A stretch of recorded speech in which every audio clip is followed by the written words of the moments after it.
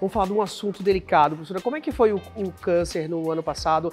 Além de tudo isso, ainda tem que lutar contra essa doença, que a minha mãe também está passando por isso, eu sei como é que é, e é bem difícil, né? É, foi assim, eu, eu faço exame todos os anos, né? Então, em 2020 eu fiz, não tinha nada. Em 2021, então, no exame foi detectado o início de um nódulo. Então, assim, eu, por isso que eu quero falar sobre isso, a importância de fazer o exame todos os anos. Talvez se eu tivesse deixado de fazer no ano passado e fosse fazer esse ano, ele teria crescido muito mais.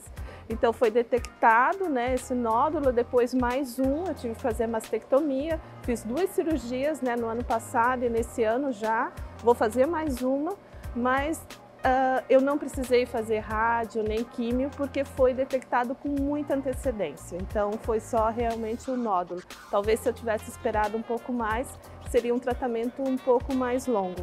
Então eu, eu talvez consegui superar isso porque foi detectado com muita, uh, muito, muito, cedo, né? Ele estava muito no início.